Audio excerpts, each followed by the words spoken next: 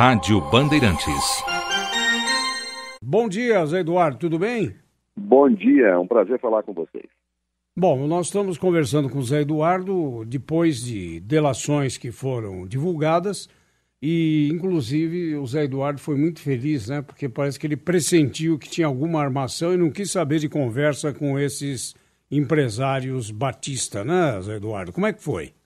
É, um bom dia. Olha, eu não estou me pronunciando sobre isso exatamente porque é, eu fui consultado como advogado. Né? E eu não sei nem exatamente qual a, a versão que será dada de, de tudo isso. Então, eu vou aguardar, eu, tô, eu sou muito respeitador do Código de Ética Profissional, eu vou aguardar, e, evidentemente, se necessário for, é, eu me pronunciarei a partir daquilo que efetivamente for falado. Então, por hora, estou mantendo assim a minha reserva, porque acho sinceramente que, que, que um advogado, é, naquilo que lhe é falado, lhe é solicitado, lhe é colocado, ele não, não, não não tem, como sigilo profissional, falar. Apenas o que eu tenho dito é que eu lamento esses fatos, né, lamento os fatos, é, e evidentemente pode ter absoluta certeza que é, eu jamais envolveria no exercício profissional em qualquer ato ilícito, né? é, tenho a menor dúvida disso, e nem, e nem em qualquer situação que efetivamente é, fosse em desacordo com os princípios da ética profissional. Ministro, é o Rafael, bom dia. E em um dos momentos lá da, daquelas gravações todas, é, é dito que o senhor teria condições de interferir no voto de pelo menos cinco ministros. Que o senhor teria, se eu não estiver enganado, é o Ricardo Saldi que fala isso, né? Que o senhor teria cinco ministros do Supremo nas mãos. O que é que o senhor pensa Olha, disso? É, é, é, só pode ser uma, uma, uma, brincadeira, porque isso eu nunca afirmei isso e nem é verdade. Agora, vou aguardar, não vou me pronunciar sobre os fatos, né? eu nunca falei isso na minha vida, pelo contrário, tá certo? Eu sempre falei para todos os meus clientes, pessoas, que é, o Supremo é um órgão independente, né? não, não, existe essa hipótese, até porque se, se algum advogado controlasse o Supremo, ele seria vencedor de todas as causas né, a que estaria submetido. E não é meu caso, eu já tive, inclusive, derrotas clamorosas do Supremo em algumas ações, que não são o caso de impeachment de Mano a gente tem certeza que o nosso entrevistado não diria isso. Mas poderia haver uma presunção, por quê? Não sei. É, é, é que não existe isso. Não existe. É, eu lhe afirmo que nenhum ex-ministro da Justiça, nem o atual, nem passado, né, nunca tiveram um controle sobre a Suprema Corte. Isso é uma, é uma coisa absolutamente. Até porque são todas pessoas. E ainda é, mais nesse número, não é? Pois é, uma coisa. É, é, eu acho, veja, por isso que eu, eu quero dizer, eu quero aguardar é, o desenrolar dos fatos, estou submetido a uma situação de consulta como advogado, eu sou muito respeitador disso. É, eu acho que os clientes têm que ter uma garantia, quando consultam um advogado, ele se comporte eticamente, e eu vou me comportar estritamente da ética profissional. O que eu posso dizer é que nem eu, nem nenhum ministro tem ou teve controle sobre o Supremo Tribunal Federal. Isso eu posso afirmar de forma absoluta. Ministro Zé Eduardo Martins Cardoso, aqui é o Pedro Campos, também tem uma pergunta para o senhor é, sobre a relação que o senhor já teve algum dia com o Joesley Batista. O senhor já teve alguma relação próxima com ele, conversou várias vezes? Qual era o grau de intimidade que o senhor tinha para ele se referir numa conversa como Zé para lá, Zé para cá, quando falava com o senhor, com outro executivo da JBS? Veja, é, eu, é, fora a situação profissional recente, que eu não vou comentar, ele, como era ministro, me procurou algumas vezes, mas nunca tive uma relação de amizade. Normalmente, como ele fazia para tratar de questões é, no âmbito da, da, da, sua atuação. Nunca me fez nenhum pedido ilícito, nunca me fez nenhum pedido ilegal. É, eu não tinha uma relação de amizade com ele, mas eu conhecia, sem sombra de Bom, nesse meio não se tem amizades, né? Há interesses, né, Zé Eduardo? Veja, é, aquilo que, que eu posso afirmar é que jamais, em momento algum, ele me procurou para fazer um pedido ilícito. Isso nunca aconteceu. Né? Então, é, isso efetivamente, eu, às vezes que ele teve contato eventualmente comigo, era justamente em situações, é, diria assim, de natureza estritamente posta no âmbito de que um empresário, um grande empresário, muitas vezes precisa de uma é, situação qualquer do governo nos termos da lei. E eu nunca tive nenhum pedido dele, também nunca tive nenhum ato concreto é. relacionado a, as situações. É importante a sua declaração, porque você sabe que ele é um artista, exímio gravador de prosas, né? De modo que era um risco muito calculado. Não, não é muito bom, não, viu? Aquele cameraman lá que fotografou políticos recebendo Mato dinheiro Grosso, em Brasília. Né? Não, não, antes, lá em Brasília. Ah, sim. É, aquele era craque, né, para filmar, é. né? Não, não deixava nenhuma aliás, aliás, o que dizem é que essa gravação feita agora, em que o, o, o Batista bate papo com o Ricardo, foi feita sem querer, né? Eles ficam lá, não, ih, apaguei. Ele, ele acionou sem O Ricardo querer, né? teria apagado uma gravação com o Ciro Nogueira. Aí ele fala, não, eu tava sem óculos, aí apertei o botão errado. Ele falou, como é que liga? Liga aqui, liga lá. E aí fica parecendo que eles não sabiam o que estava acontecendo. Agora, ministro, é, sei das restrições que o senhor tem, o senhor não ocupa mais uma função pública, é, é, é, é um, um advogado agora, não é mais, mais ministro de Estado, mas observa a cena há muito tempo, é um dos, dos juristas mais respeitados do país. Gostaria de saber se o senhor tem uma avaliação, o senhor pode dizer o que achou do, do que fez o procurador Rodrigo Janot nesse episódio, está sendo duramente criticado. Ontem admitiu equívocos. O que, é, que, é que o senhor achou do fato dessa delação é, ter ocorrido da maneira como ocorreu, com suspeita de interferência de empresário dentro da Procuradoria-Geral da República? Olha, eu em condições normais, eu teria totais condições de emitir minha apreciação sobre isso. Nesse momento, exatamente pelas razões que eu expus, é, eu não, não, não, não devo, não posso fazer qualquer consideração a respeito. O senhor continua defendendo o ex-presidente Dilma Rousseff? Sim, é, no processo de impeachment, eu continuo defendendo a presidente Rousseff, eu sou advogado constituído naqueles autos.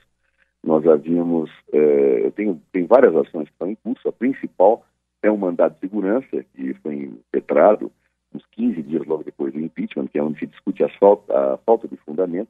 A liminar foi negada pelo saudoso ministro Teori Zavascki. Posteriormente ele veio a falecer, esse processo hoje está sobre a, a, a relatoria do ministro Alexandre de Moraes, uh, e nós estamos ainda aguardando o julgamento desse processo. O senhor utilizaria a mesma veemência, ministro? Como? O senhor utilizaria a mesma veemência que ficou famosa aqui no país da defesa Olha, de Dilma? É, eu diria a você, Salomão, é que no fundo, é, um advogado, ele sempre defende seus clientes e deve defendê-lo com, com o máximo da sua potencialidade. No caso específico do impeachment de Dilma Rousseff, é, eu, eu, além de advogar para uma cliente, eu tinha a convicção da tese jurídica que eu defendia. Então, acho que isso, isso se torna mais veemente, mais vibrante, mais, mas até emotivo, né? Porque você tem, quando você acredita naquilo que você é, defende, você não tem só uma atuação técnica, né? Você tem uma atuação é, pessoal. E nesse caso, eu tinha absoluta convicção, falo isso, volto a falar o tempo inteiro em palestras, que os motivos invocados pela discussão de Dilma Rousseff são coisas pixias, são retóricas. Né? E, do ponto de vista jurídico, e o impeachment só pode acontecer quando você tem uma situação é, juridicamente qualificadora de crime de responsabilidade como um ato hediondo, doloso, é, recriminável. E no caso não agia, foi um pretexto. Eu é, estava, estou, acho que sempre estarei o resto da minha vida é, dizendo isso, se talvez tenha me dado uma, uma veemência é, emocional, até passional maior é, do que talvez um advogado que não acreditasse profundamente na causa tivesse. E sua relação com o PT, como é que é hoje?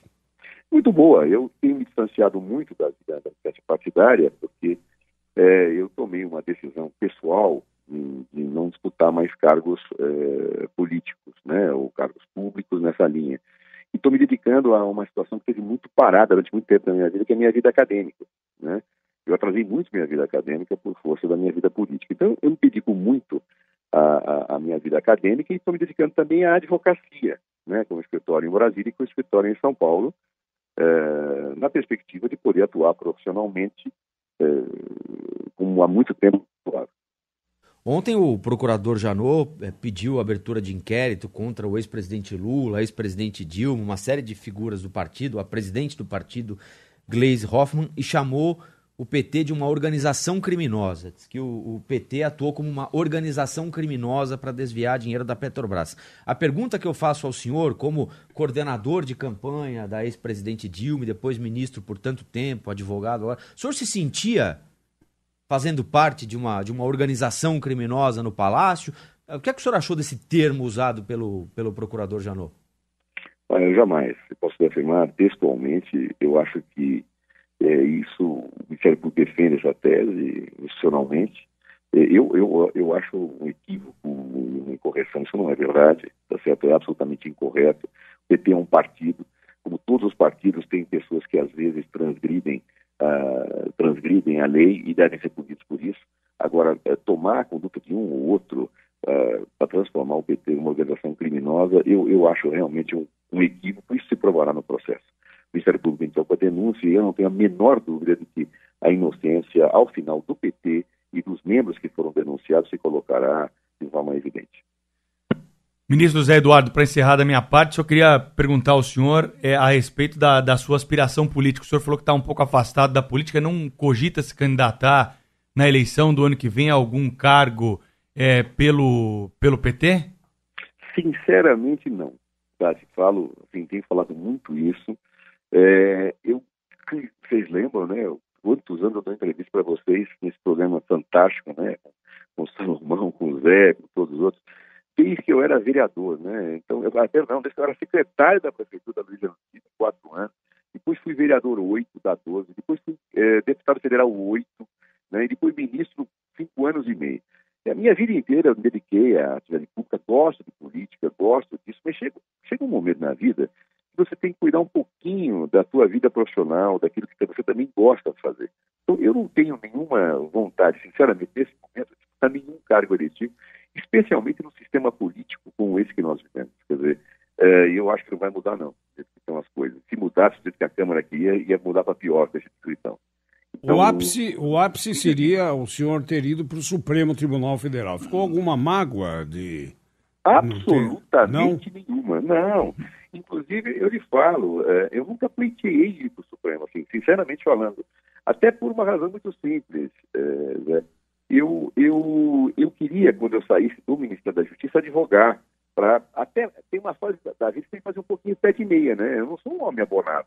Mas mesmo depois que Alexandre Moraes foi ungido, o senhor não sentiu que o seu partido não, não, não, não agiu como eles agiram com o aliado Alexandre? Sinceramente, não. Eu acho que o Michel Temer fez a sua escolha, e todo presidente faz a sua escolha. Eu nunca pleiteei isso, por exemplo, no CEF, jamais pleiteei. E às vezes que alguma pessoa do governo falava isso ou não, eu descartava, porque eu queria me dedicar à minha vida acadêmica, queria me dedicar à advocacia, até para poder fazer uma coisa que eu nunca fiz na vida, que é ter um mínimo de estabilidade até financeira para. Tenho filhos, tenho todo um conjunto de situações familiares que me exige uh, a dar aulas, me exige fazer isso. Eu sempre fui uma pessoa uh, de vida eu vivo bem, mas não, não, não, tenho assim nenhuma garantia patrimonial que me permita é, é, me furtar esse tipo de trabalho. Então, é, é, é exatamente por isso, eu, eu nunca pleiteei, embora eu acho que para qualquer advogado, para qualquer pessoa formar em direito, ser ministro supremo é uma honra, é a dignificação de uma carreira. Mas eu acho que isso ainda estava muito distante para mim é, nesse momento, e talvez sempre esteja, na medida em que eu é, pretendo sempre, sem me atuar como professor político, eu, eu permaneci professor, eu sou, né? E advogado, é, também porque gosto da advocacia, acho que, é uma, uma, uma, atividade que me atrai muito. Então, é o que eu pretendo fazer nesse momento, né? Não pretendo realmente ficar nenhum cargo eletivo. E, ministro, concorrendo ou não, o senhor já disse que, que pretende não concorrer a nenhum cargo, como é que o senhor imagina que vai ser 2018 para o Partido dos Trabalhadores, depois de tudo que aconteceu entre a última eleição nacional, 2014, e essa eleição de 2018, com essa incerteza se o ex-presidente Lula poderá ou não ser candidato? Como é que o senhor projeta o Olha, partido em 2018? Eu acho que cada dia está mais claro né, que o que aconteceu com o PT, embora tenha sido muito explorado é, contra o partido, era uma realidade que envolvia o sistema político brasileiro como um todo. Eu acho que não há nenhum partido que tenha tido postos de poder real que não tenha sido afetado por esse sistema político, inclusive com pessoas acusadas, certa diretamente ou não por corrupção. Né? Ou seja, nós temos um, um sistema político que gera corrupção. E dentro desse quadro, eu acho que está cada vez mais claro, pelo menos para as pessoas que não, não têm uma dimensão ideológica, assim, na flor da pele, que o problema, o ataque ao PT, a demonização do PT, é um verdadeiro absurdo. Né? Você não demoniza um partido, não demoniza nenhum partido. Eu não demonizo o PSDB por Aécio Neves estar acusado, eu não demonizo o PMDB porque vários dos seus próximos estão acusados. Ou seja, nós não podemos fazer isso. Nós temos que ver quem praticou o ilícito, punir e nunca generalizar de forma indevida as coisas pelas paixões. Então, eu acho que isso vai ficar claro em 2018. Né? Acho que, é, e falo isso com toda a franqueza e lealdade a vocês, é, eu li atentamente a sentença do, do, do Sérgio Moro condena o Lula e eu achei uma sentença fragilíssima do ponto de vista probatório, que pese respeitemos a atuação do juiz, mas fragilíssima. Parece que partiu do pressuposto que se queria condenar para daí construir-se situações que nas provas não se sustentam. Então, acho que seria injusto privar o povo brasileiro, o presidente Lula, de ser candidato. O povo brasileiro tem direito de votar em quem quer, e o presidente Lula direito de ser candidato a partir de uma fragilidade condenatória como essa. Como também outros não condenados, que não estejam atingidos, é, têm o direito de disputar. Que venha a democracia, que o povo decida. Eu acho que é o melhor para o país. Né? Nós temos que parar um pouco. E, e, e, mais ainda, viu? essa polarização política que eu vejo, eu acho muito ruim. É, é, nós, então, eu, a minha última pergunta ao senhor é essa aí. Qual seria, para o senhor, um perfil apropriado para a eleição de 2018, porque se continuar esse quadro, nós vamos continuar com o país dividido. O que, que o senhor acha? Olha, eu acho que tem que ser uma pessoa que dialogue socialmente. Eu, é claro, evidente, eu tenho o Lula como um candidato que, que me anima, é, é, é, porque eu conheço e sei disso. E acho que a sua postura, a postura de quem ganhar essa eleição, tem que ser a conciliação nacional. Tem que ser, vamos conversar, vamos pactuar para sair do país, vamos mudar o sistema político, vamos combater a corrupção de frente, sem conjunto de trapalhadas que nós estamos vendo aí, tá certo? vamos fazer com seriedade, mas sem arbítrio. Corrupção a gente tem que combater sim, é dever, mas dentro da lei, dentro da constitucionalidade, dentro do Estado de Direito. E conciliar o país na perspectiva de que nós possamos a voltar a crescer, que nós possamos a voltar a, a combater a exclusão social, a ter paz. Né? Eu acho que isso é fundamental para quem ganhar a eleição. Né? Seja o meu candidato, seja o candidato de, de, de, do adversário. Quem ganhar tem que pacificar o país. Tem que ter um mínimo de responsabilidade para é, parar com esse tipo de coisa, de xingamento. Parar com isso, chega, ninguém aguenta mais. Nós temos que fazer uma pacificação nacional, respeitar a pluralidade, e se discute a política no Congresso Nacional, seja um Congresso respeitável, é, porque é, não tem sentido, nós estamos na linha de destruir o outro. O Brasil não se constrói na destruição, ele se constrói na democracia. E acho que esse é o caminho para o país. É, se Lula for candidato, terá meu voto. E, falo isso, porque acho que ele é um grande líder, mostrou quando era presidente e tem condições de conciliar o país. Mas seja quem for que ganhe essa eleição, seja quem for, que concilie o país, dentro da lei, dentro da democracia, sem golpinho para lá, sem, sem, sem histerias para cá, sem intolerância. Tem que parar essa intolerância nas ruas, parar essa intolerância, tá certo? Seres humanos têm que ser tratados com dignidade até que se prove e efetivamente praticaram um. Então, eu acho que isso tudo, né, é, que da crise às vezes nasce a esperança, da crise nasce o bem. Eu espero que dessa crise toda venha um país melhor. E espero que 2018 nos conduza a isso. Uh, eu queria só perguntar o seguinte: com os acontecimentos da Petrobras, se não houvesse essa intolerância, alguma coisa seria apurada? É natural que, a, que as acusações se voltem com os detentores do poder. Só eles tinham essa influência da Petrobras a ponto de chegar nessa nesse delenda Cartago e acabaram com a Petrobras, é inegável. Acionistas que confiaram desde o início da, da, da colocação de, de, acionistas, os consumidores da gasolina brasileira, desde esse tempo nunca se viu uma coisa igual. Aqueles que confiaram estão sem receber dividendos. Tudo aquilo que a Petrobras prodigalizava normalmente e honestamente desapareceu do cenário da economia brasileira. É, alguma, alguém é responsável, não é, ministro? Olha, se fosse só o problema da Petrobras, eu diria, eu localizaria, mas nós sabemos que não é. Nós sabemos que essa é uma questão histórica no Brasil e atinge o poder público, por força desse sistema político. Não que estão com um país que seja imune à corrupção. Não. Nós temos corrupção no mundo todo, mas não na dosagem estrutural que nós temos no Brasil.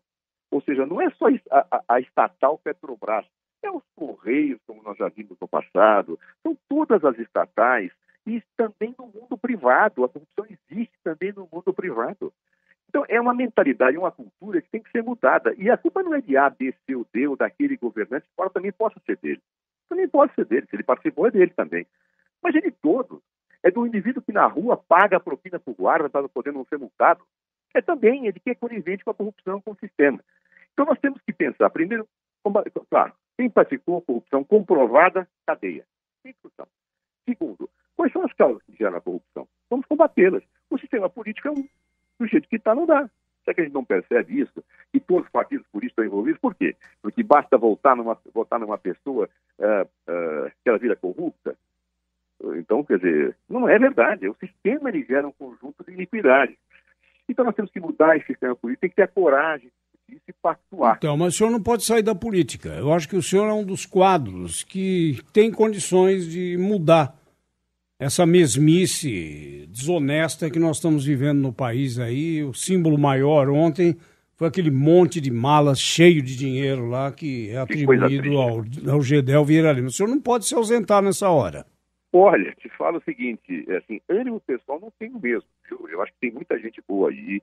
Eu já, já, já fui vereador, já fui deputado, já fui ministro. Eu não ambiciono mais nada nesse ponto. Falo assim, do fundo do coração, com muita sinceridade. E tem muitos quadros novos aí, tem muita gente nova. Né? O, eu, não, não que eu vá sair da política, eu não quero disputar cargo eletivo. Eu, como agente, assim, cidadão, eu vou atuar, eu vou fazer. Agora me falta o ânimo desse sistema. Para quê? Para que você seja acusado até prova em contrário? Até... É difícil. Uma pessoa... A única coisa que eu tenho na minha vida é, é minha moral. Né? E, de repente, o fato de você ter uma atuação política já te as pessoas já te olham, ah, você é safado, etc. Isso me desanima muito. E acho que tem muita gente com sangue novo que pode ocupar esse papel. E eu estarei como cidadão ao lado dessas pessoas que estarão buscando limpar o país dentro da lei, dentro da democracia, limpar o país sem tolerância. Eu não acho que tem tolerância é, é, nas ruas xingando pessoas ou, ou execrando pessoas. É como se nós vivêssemos uma arena romana para mudar o país. Não, não é assim que se muda, é na democracia, no respeito, mas com a firmeza, combater a corrupção com firmeza. Acho que isso precisa, o país precisa disso, né? E nós, cidadãos, e eu hoje como cidadão, né, estou é, disposto a lutar por isso.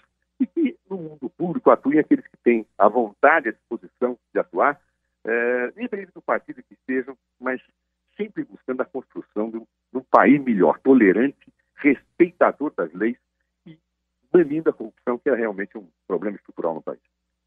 Muito obrigado, Zé Eduardo Martins Cardoso. Fazia tempo que não conversávamos. É Vamos repetir isso aí com não tanta distância. Pro Zé, tá Paulo, pro Zé Paulo não cumprir a ameaça de eventualmente aparecer no seu apartamento lá na região da Paulista.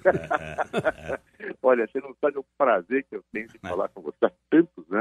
E mesmo quando eu não me pronuncio com a imprensa, deixar de falar com vocês, para mim, é algo que eu não farei nunca. Eu adoro esse programa, adoro vocês e tenho certeza que vocês fazem um serviço muito importante na construção de uma imprensa democrática, livre, mas respeitadora dos limites da liberdade de expressão e de informação. Muito obrigado a vocês um grande abraço. Bom dia.